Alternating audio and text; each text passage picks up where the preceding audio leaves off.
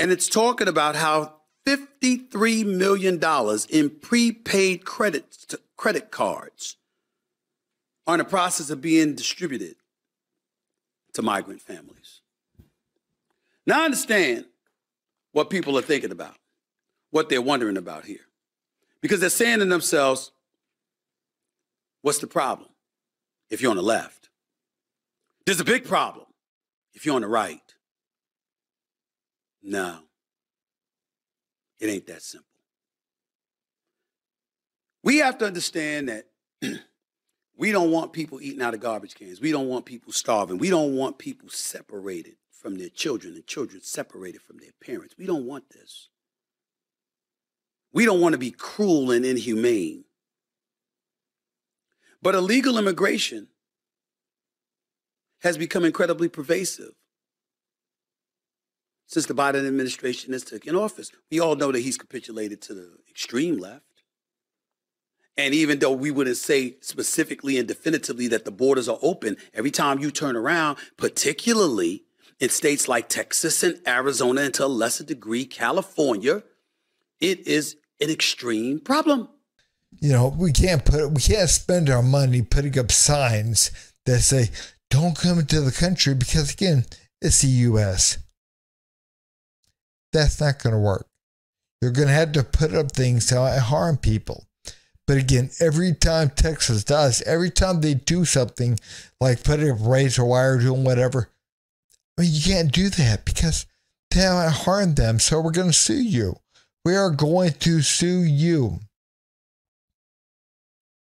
And that's the reason why Trump is going to be reelected. That's the reason because right there we understand. I think I think even leftists, some are starting to understand that we have a corrupt administration and power. We do. I mean, again, they work for the World Economic Forum. They don't work for you. They don't work for me. We have to get that. We have to understand that. I mean, again, the illegal migrant crisis is happening across the U.S. Yes, it's happening across uh, the Western world. I mean, again, people are landing in Europe, landing in England and, and France and Italy. They're coming over. They're coming over in droves. And again, this is being done on purpose. We have to, they have to destabilize the Western world. They have to. Because again, man, this is the only parts of the world that we have freedom, that we have, we have freedom, we have power over ourselves, over our destiny in a way. We don't we don't take handouts. We don't take you know we we do for ourselves. We do for ourselves. And again, man, we have government. We have limited government. But again, they don't want that. They want control. And again, the only way to destabilize things in the Western world including here in the US, is again mass migration.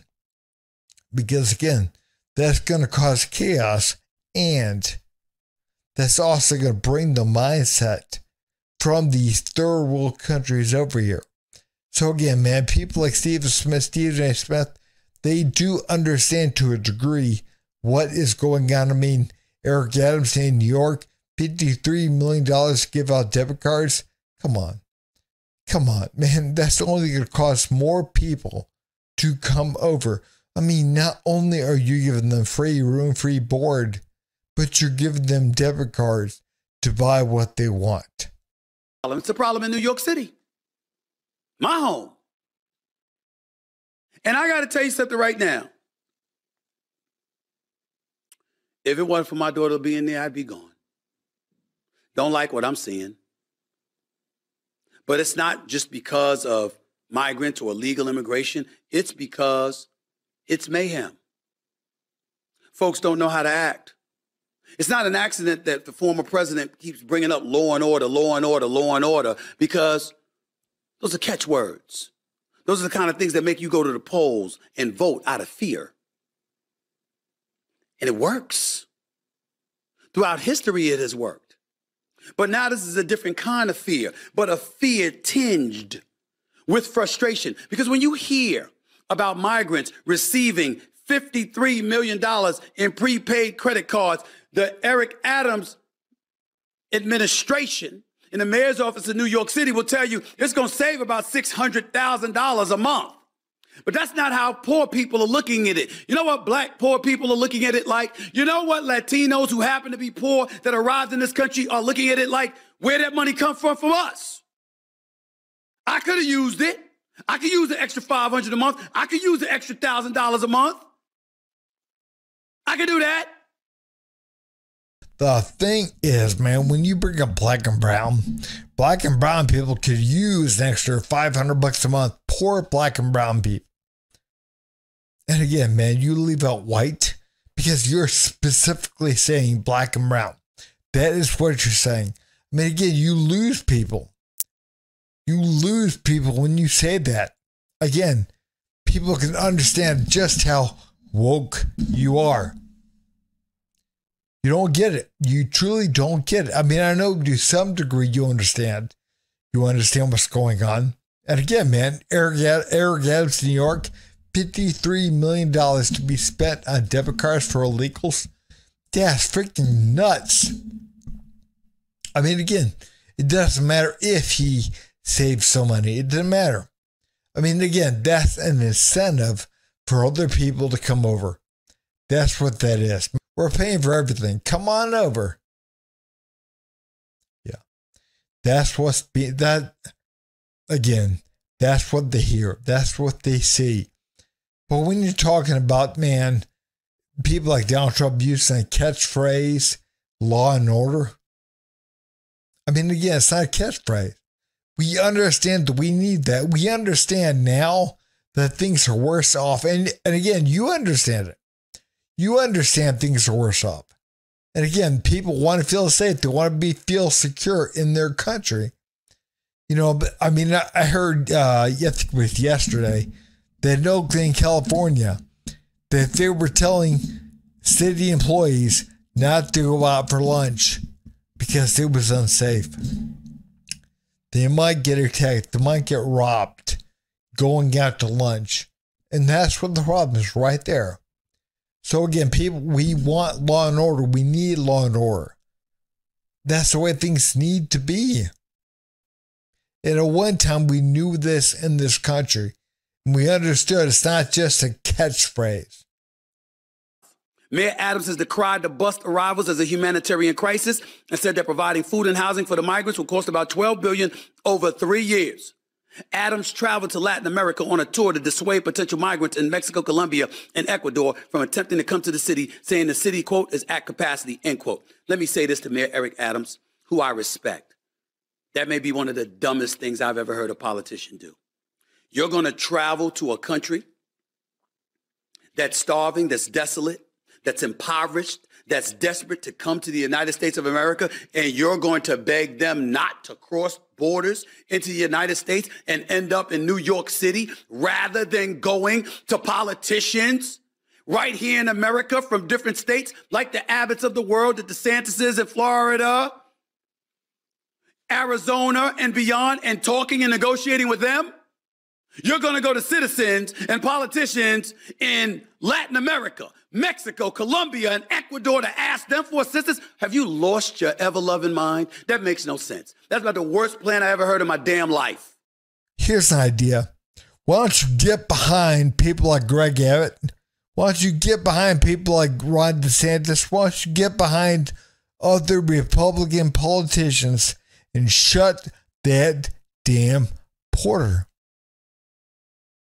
Again, again, don't don't vote in ways that goes you know against that.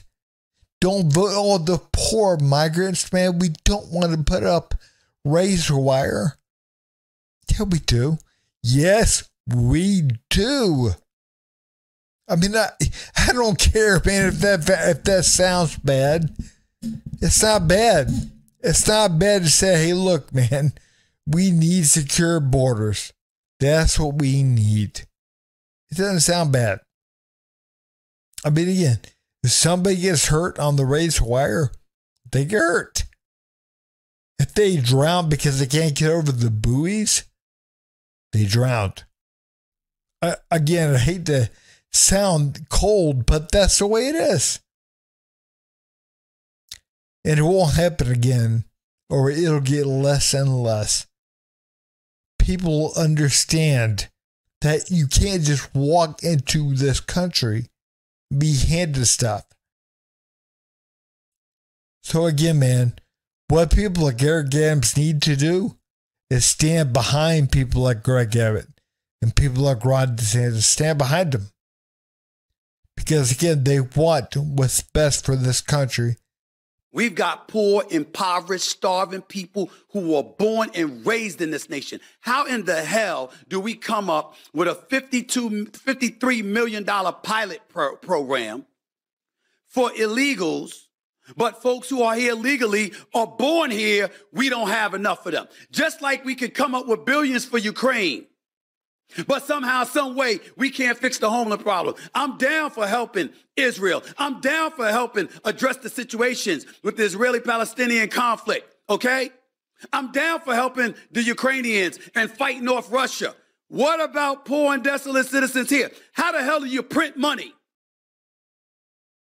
for foreign countries? But you don't print that money to help eradicate folks that are starving right here in the streets of America who were born and raised here. They don't care. They truly don't care about you. They don't care about me. They don't care about this country. And again, man, the reason why they can print money for other countries is because they know they're going to get something in return. It's about the money. It's about power. It's about control. They don't care about you. They don't care about you. They don't care about me. They don't care about the homeless person. And again, man, I'm not going to qualify it the same way you do. It doesn't matter if they're white, they're black, whatever, they're brown, whatever. If they're citizens of this country, they are Americans. And, and again, man, you shouldn't have to qualify that by race. But again, the fact of the matter is, they don't care. You're starting to understand something that Republicans have understood for a long time. We want less government, not more. Because the bigger the government gets, the more powerful it gets. And the more powerful it gets, the more control it has. And again, people are evil. People are evil. You can talk about employment all you want to. You can talk about the labor participation rate. But guess what? If you ain't making no damn money and you got to get two jobs to pay the same prices or to buy the same amount of stuff that you used to buy and the price is higher than it used to be because of inflation, then guess what? What are you really accomplishing? That's why Trump is on the verge of getting elected, reelected. Because when he was in office, there was a flourishing economy. There was a whole bunch of other problems. Whole bunch of other problems. And I personally think his return to the presidency is going to be civil war in this country because he's going to be desensitized to bringing anybody together because he's going to be on a revenge tour to get back at everybody who went against him. And I think it could be the worst possible thing for the country. But I can't blame 50 Cent, for example, when he sits up there and he's tweeting, Eric Adams, I need you to explain this to me. What the hell is going on? Maybe we should consider Trump. When he says something like that, like you can see right here, what he's saying uh, when he said it on his social media page, I can't blame 50 Cent for that. You want to sit up there and excoriate Ice Cube now when he didn't pick sides in 2020? When he wasn't telling you to vote for Biden or Trump, he was just saying, yo, I want to present a plan for black America and see who's willing to listen. And Trump gave the okay and the impression he was willing to listen. You want to call Ice Cube a sellout now? I agree with pretty much everything you're saying, except for one thing. Man, Trump's not going to start a civil war, but he might prevent it. He might prevent it. I mean, really, we have to look at what's going on again at that southern border and the governors of, of half the states and the country are standing behind Greg Abbott and are willing to send their National Guard troops down there to assist them at that border. So again, man, Trump would not start a civil war, but Biden might. You know, hey, look, the guy causing the problems is the guy in the office now. I mean, I know part of you recognize that, but that is what's going on. So again, Trump's not going to start it, but he might prevent it. Trump got 12% of the black vote in 2016. He got 16% of the black vote in 2020. They're projecting he's going to get more than 20% of the black vote in this upcoming election. That's what they're saying. And who's to say black folks would be wrong to vote for him? I told y'all before, I am no Republican. I voted for one Republican in my life. That's Governor Chris Christie in New Jersey because I thought that Corzine was a disaster. I voted for Clinton. I voted for Al Gore. I voted for Barack Obama twice.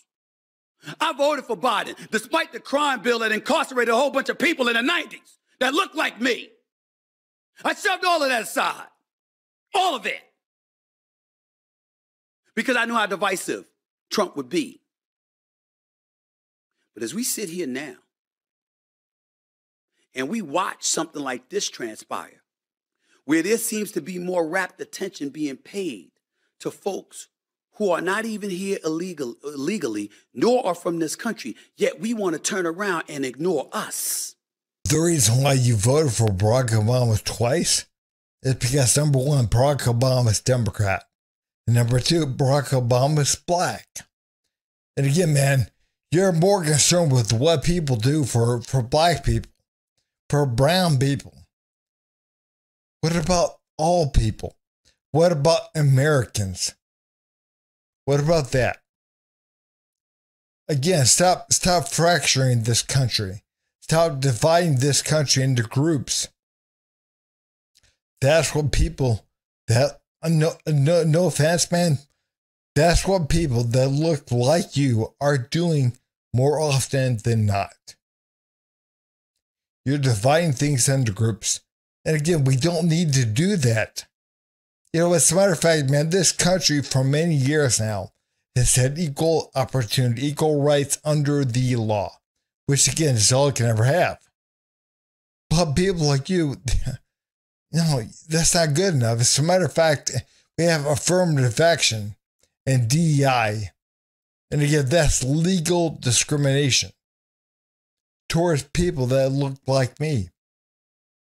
We have to be honest about that. But again, man, people like you, you fractured this country. You do. And you said you you uh, vote for Biden, even though Biden, you know, back in the 90s supported the crime bill and that incarcerated people that looked like you. And the fact of the matter is, man, no, people that look like you are incarcerated because they commit crime at high rates. I mean, again, over 50% of all violent crime in the country is committed by people that look like you, that are less than 13% of the population. But again, you don't like to talk about that. Because again, you like to talk about white supremacy and systemic racism whatever else, man.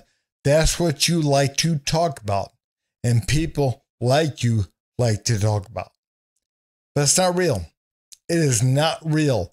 And again, it's destroying this country. Destroying it. So again, man, no, black people would be right to vote for Donald Trump. Not because he's not because he looks out for black people or rebel, but because he looks out for Americans. He looks out for people in this country. And that should be good enough. But guys, man, if you would, please like, subscribe, and leave a comment down below. Thanks.